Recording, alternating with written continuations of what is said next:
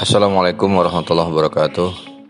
Pak Derajat ini saya bikin video tentang proses mencetak part body. Nah ini kita lihat bagaimana sebuah plat akan dicetak. Tapi apa yang terjadi ketika ini akan dicetak? Maka terjadi banyak lipatan-lipatan yang tidak diinginkan.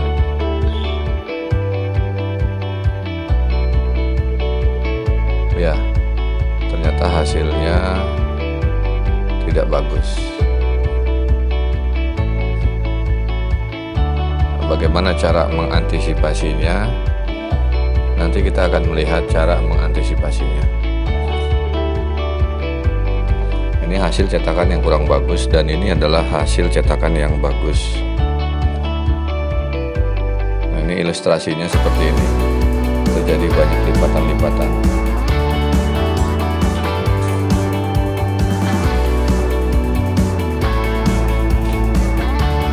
Bagaimana cara mengantisipasinya?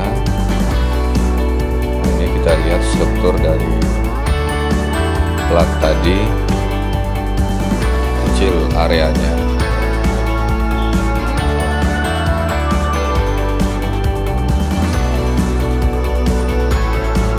Ternyata sebenarnya hasil yang diinginkan itu ada perbedaan luas atau X. Selanjutnya kita akan melihat sebuah percobaan di mana akan dilihat secara langsung perubahan-perubahan yang ada.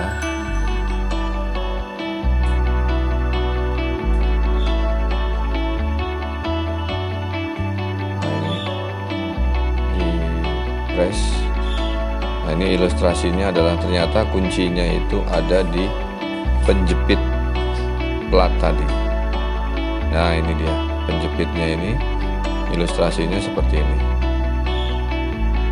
nah dia harus dijepit dikasih tekanan nah, sehingga tidak terjadi lekukan-lekukan. Apa yang terjadi ketika diberikan macam pegangan atau jepitan? Nah, ternyata hasilnya bagus. Ini mungkin waktu teman-teman membuat cetakan ini tidak buat. alat jepit ini kita lihat dengan menggunakan kaca. Kaca akan dilihat nanti bagaimana perubahan perubahan plat baja plat tadi. Di press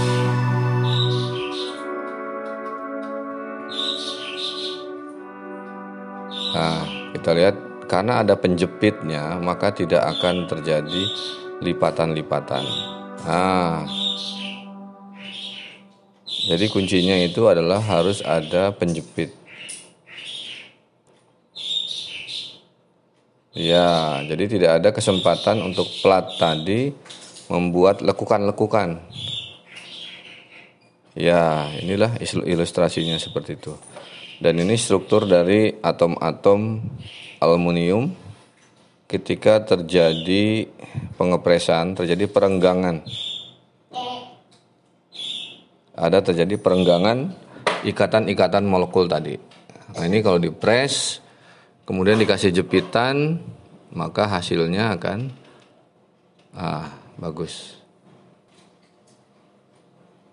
Nah, kita sekarang bandingkan antara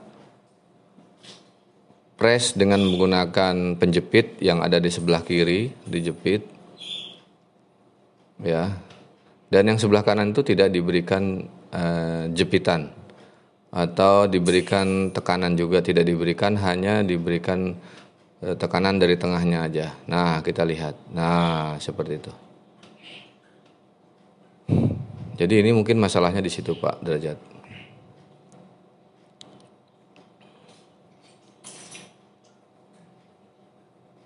Ya, itu sebelah kanan itu akan terjadi lipatan-lipatan.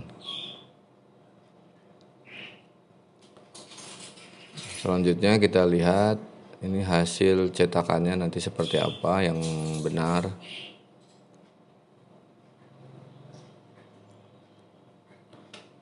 Ya, ini dijepit. Nah, ketika dijepit ini terjadi pergeseran volume.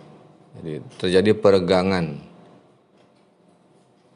Tetap nanti akan ada yang tipis, ada yang tebal.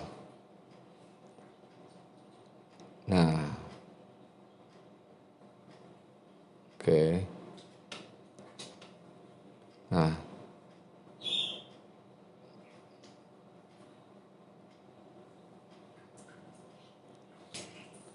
Nah, selanjutnya kita lihat di sini hasil cetakan dengan menggunakan penjepit. Nah, lihat posisi sebelah kiri, dia menjepit, ya menarik. Nah, terjadi perenggangan. Lihat, terjadi perenggangan struktur molekul dari aluminium atau struktur atom dari aluminium. Terjadi ada peregangan. Ketarik karena dia ketarik. Nah, kita lihat di sini ada delta atau selisih. Nah, 1 2 3 itu adalah yang kita harapkan. Nah, kemudian ada sudut-sudut yang tidak kita harapkan. Harus dipelajari betul-betul kalau kita ingin membuat mesin presnya ini.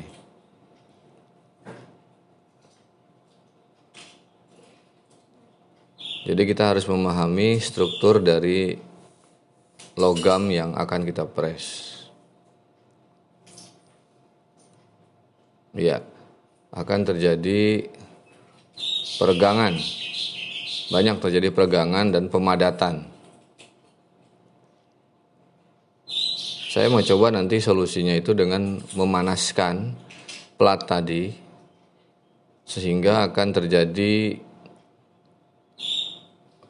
tebalan ketebalan ketebalan itu yang tidak jauh beda di antara beberapa sudut itu tidak jauh beda.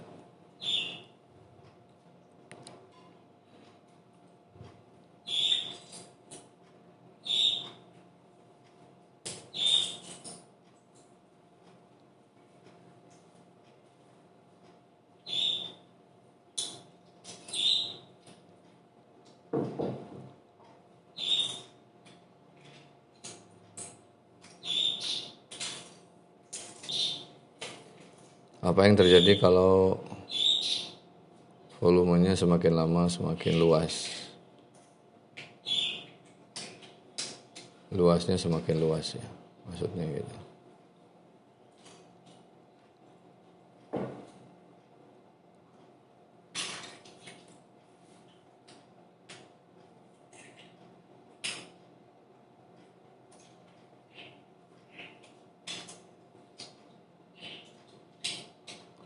Oh, ternyata pada luasan tertentu itu ada toleransinya. Tapi kalau terlalu luas itu akan terjadi robekan-robekan.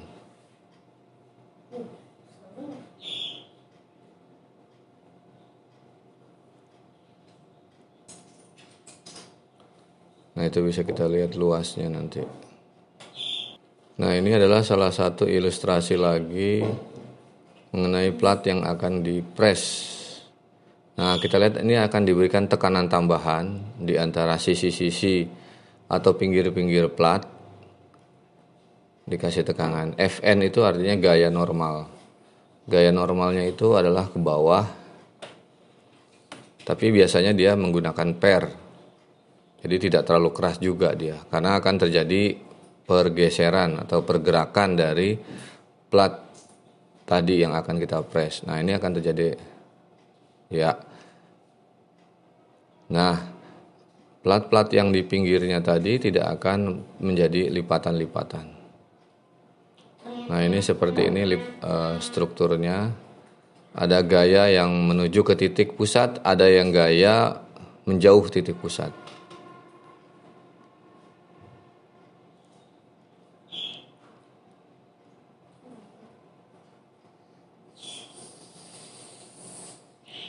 Nah, lihat di sini ada gaya-gaya tarik juga nih. Di lengkungan sudut-sudut yang melengkung ini uh, kuning dan warna biru ini menjepit bagian, menjepit. Kuning, biru, pink dan merah itu menjepit. Jadi di sini sepertinya kuncinya itu adalah adanya jepitan.